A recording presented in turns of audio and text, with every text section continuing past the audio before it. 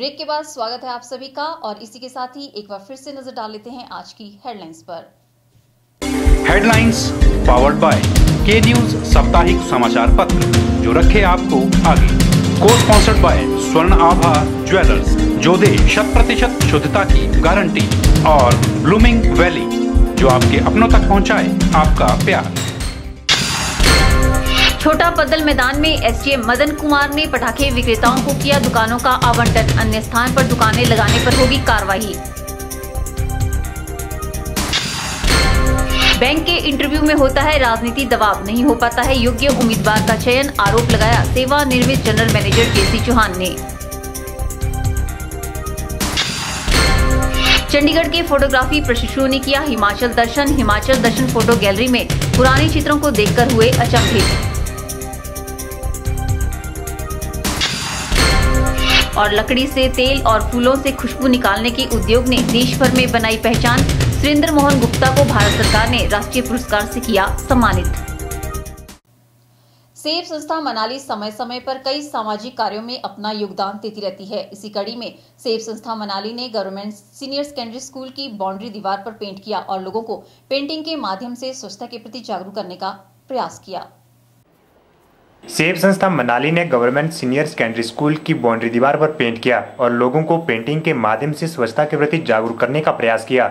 सेब संस्था के संस्थापक सदस्य सनी शर्मा ने बताया कि संस्था विभिन्न सामाजिक कार्य में अपनी भूमिका निभा रही है। उन्होंने बताया कि इस पेंटिंग में स्वच्छता, पर्यावरण व देशभक्ति की तस्वीरें दर्शाई जाएँगी, ताकि दीपावली के आने से पहले मनाली स्वच्छ और सुंदर दिखे, ताकि यहाँ आने वाले पर्यटक एक अच्छा मैसेज लेकर यहाँ से वापस जाए। सेब मनाली संस्था पहले भी बताऊँ कि ये काफ़ी एक साल से हम लगातार काम कर रहे हैं अलग अलग पर्यावरण से लेकर गायों के लिए गौशाला में काम कर रहे हैं। तो इस बार हमने सोचा कि हम इस दिवाली से आने से पहले हमने तीन थीमों में बांटा है इसे। एक तो यहाँ पे हम देशभक्ति के उसमें कुछ ड्राइंग पेंटिंग करेंगे एक एनवायरनमेंट के उसमें और एक साफ़ सफ़ाई के उसमें ताकि लोगों को संदेश जाए कि मतलब मनाली सुंदर भी दिखे और एक लोगों को संदेश भी हम देना चाहते हैं इन तीनों को मिलाकर। बता दें कि इस संस्था के साथ अब तक 25 सदस्य जुड़ चुके हैं, जो संस्था के हर कार्य में अपनी भूमिका निभा रहे हैं। के चैनल के लिए मनाली से शिवराम राणा की रिपोर्ट। एसएमसी अध्यापकों को इस महँगाई के दौर में केवल छह हज़ार रूपए मासिक वेतन के साथ गुजारा करना पड़ रहा है। इसी विरोध स्वरूप व अन्य मांगों को लेकर एसएमसी अध्यापकों ने पटल मैदान में एक बैठक का आयोजन किया और विचार विमर्श किया। एसएमसी अध्यापकों का कहना है कि 2012 से एसएमसी अध्यापकों की भर्तियाँ की जा रही है और तभी से इनका वेतन छह हज़ार रूपए निर्धारित किया गया है, जिसे आज दिन तक नहीं बढ़ाया जा रहा है।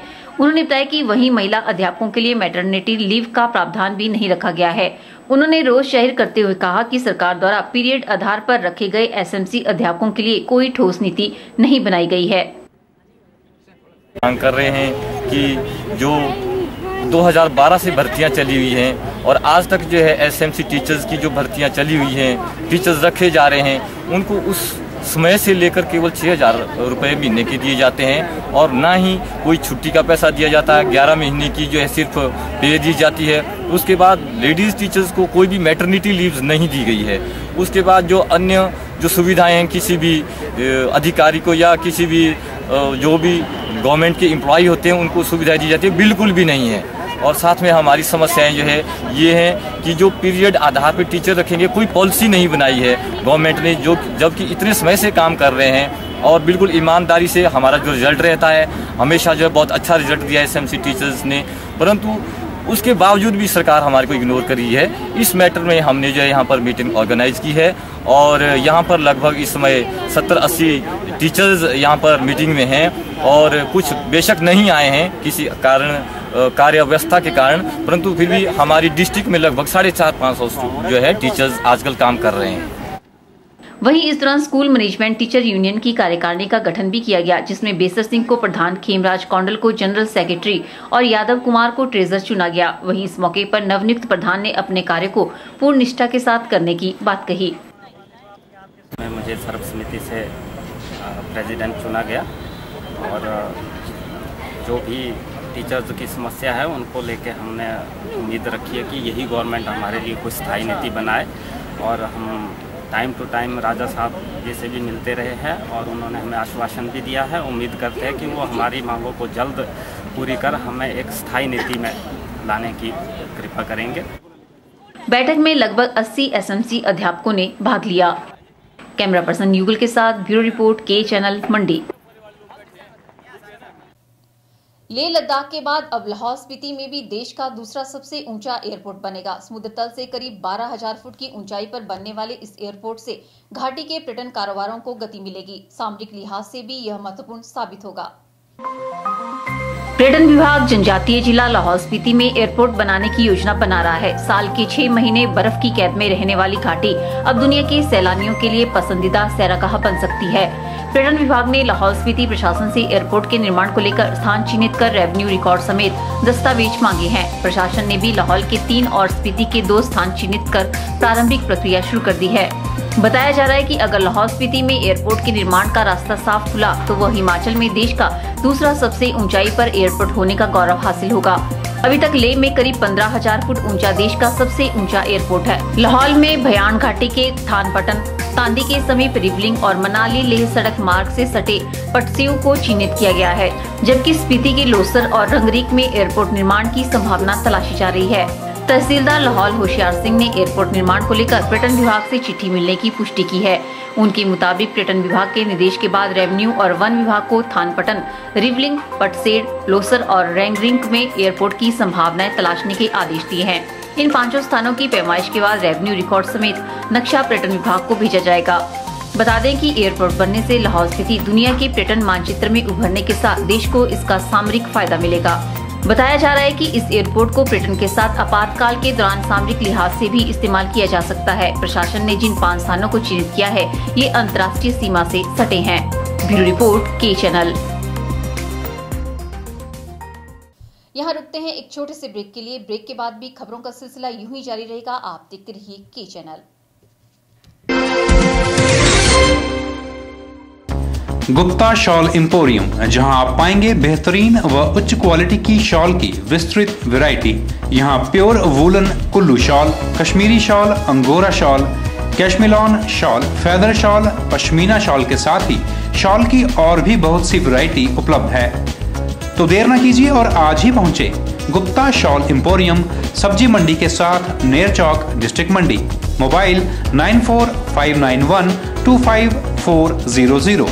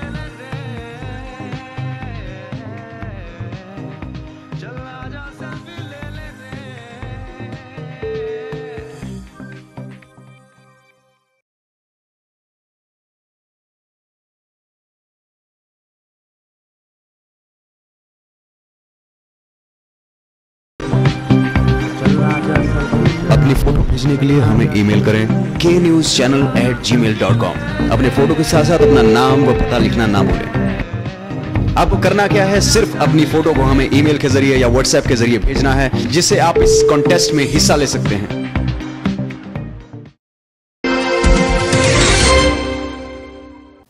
अभिलाषी आयुर्वेदिक कॉलेज में आयोजित फ्रेशर पार्टी में कनिका मिस फ्रेशर, जबकि गौरव को मिस्टर फ्रेशर चुना गया। फ्रेशर पार्टी में अभिलाषी यूनिवर्सिटी के chancellor doctor R K Abhilashi ने बतौर मुख्य अतिथि शिरकत की। अभिलाषी यूनिवर्सिटी के Abhilashi Ayurvedic college and research institute and hospital के बीएएमएस के सीनियर छात्रों ने अपने विभाग के नए छात्रों के लिए फ्रेशर पार्टी का आयोजन किया। हर्षोल्लास के माहौल में आयोजित फ्रेशर पार्टी में कनिका को मिस फ्रेशर चुना गया, जबकि गौरव मिस्टर फ्रेशर बने। रानी बरंग को मिस तथा अभिनव को मिस्टर पर्सनैलिटी चुना गया। वेलकम पार्टी के मुख्य अतिथि अभिलाषी यूनिवर्सिटी के chancellor doctor R K Abhilashi ने छात्रों को संबोधित करते हुए कहा कि आयुर्वेद का क्षेत्र बहुत ही महत्वपूर्ण क्षेत्र है, जिसमें रोज़गार के साथ साथ समाज सेवा का भी मौका मिलता है। डॉक्टर अभिलाषी ने कहा कि अभिलाषी यूनिवर्सिटी शीघ्र ही चौक बाज़ार में भी इस क्षेत्र के लोगों को उत्तम दर्जे के स्वास्थ्य सुविधाएँ देने के लिए एक अस्पताल खोलने जा रही है। इस मौके पर यूनिवर्सिटी के vice chancellor professor H S Baniyal और डिपार्टमेंट के डीन डॉक्टर डी के मिश्रा ने भी अभिलाषी यूनिवर्सिटी में डॉक्टर बनने पहुँचे छात्रों का मार्गदर्शन किया। वेलकम पार्टी में अभिलाषी यूनिवर्सिटी के professor chancellor engineer Lalit Abhilashi और dean of studies professor A S Kuleria आदि भी मौजूद रहे। ब्यूरो रिपोर्ट के चैनल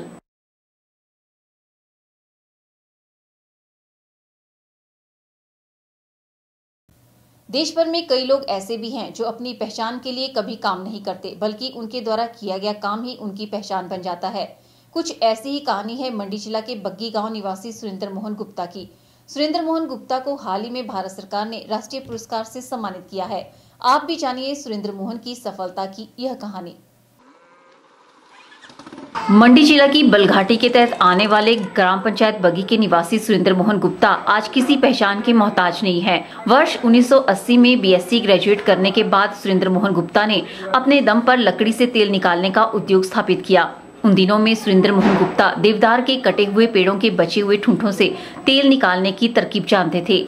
उनकी इसी तरकीब ने उन्हें पहचान दिलाई और देखते ही देखते सुरेंद्र मोहन गुप्ता का यह कारोबार खूब फल फूलने लगा। आज सुरेंद्र मोहन गुप्ता के इसी क्षेत्र में चार उद्योग कार्य कर रहे हैं, जिनके माध्यम से प्रत्यक्ष और अप्रत्यक्ष रूप से करीब 200 लोगों को रोज़गार मिला है।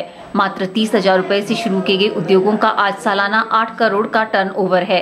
यही नहीं, सुरेंद्र मोहन गुप्ता के उद्योगों में बने उत्पाद देश सहित 35 विदेशी देशों में अपनी धाक जमा चुके हैं।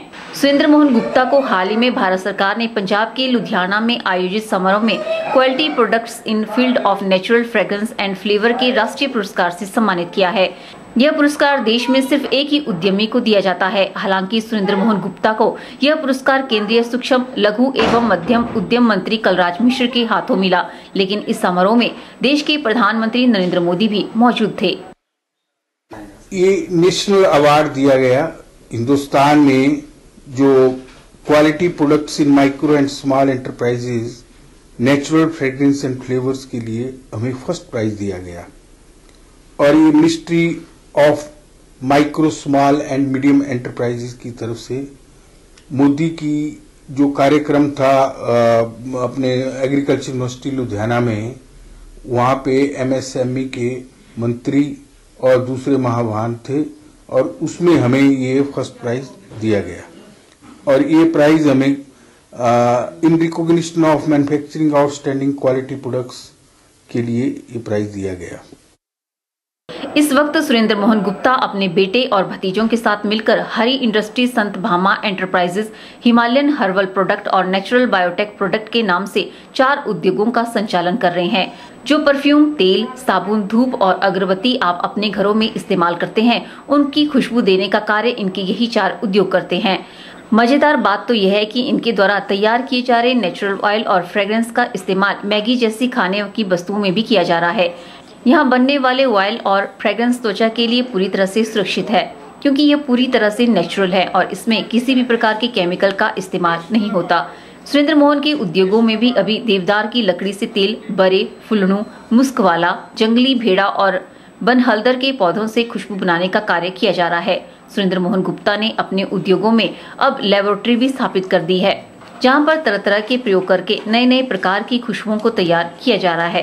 इसके साथ ही सुरेंद्र मोहन गुप्ता ने धूप और अगरबत्ती बनाने का कारखाना भी शुरू कर दिया है और ये कारोबार भी खूब फल फूल रहा है। सुरेंद्र मोहन गुप्ता मानते हैं कि अब उनका बेटा इस कार्य को नई तकनीक के साथ आगे बढ़ा रहा है, जबकि इस कार्य में उनका भी पूरा सहयोग और योगदान है। मेरा बेटा भी है और मेरे दो भतीजे भी हैं। उनकी थिंकिंग जो है काफ़ी मॉडर्नाइज्ड है और आगे के लिए भी हम इसको काफ़ी मॉडर्नाइज कर रहे हैं और हमारे आर एन डी में भी वो काफ़ी रिसर्च चलती रहती है तो इसलिए आगे को हम और आगे इसमें प्रोग्रेस करेंगे। सुरेंद्र मोहन गुप्ता ने कभी पहचान बनाने के लिए कार्य नहीं किया, लेकिन आज उनके द्वारा किया जा रहा कार्य देश सहित विश्व के 35 देशों में उनकी पहचान बना चुका है। सुरेंद्र मोहन गुप्ता उन लोगों के लिए एक मिसाल है जो अपनी ही प्राकृतिक संपदा का दोहन किए बिना सिर्फ़ सरकारों की तरफ़ ताक लगाए बैठे रहते हैं। सुरेंद्र मोहन गुप्ता ने आज दिन तक कोई सरकारी मदद नहीं ली, बल्कि उल्टा सरकारों को ही अपने उत्पादों के माध्यम से सहयोग किया है। ब्यूरो रिपोर्ट, के चैनल, मंडी। आज के बुलेटिन में फ़िलहाल इतना ही। सपना ठाकुर को दीजिए इजाज़त। नमस्कार।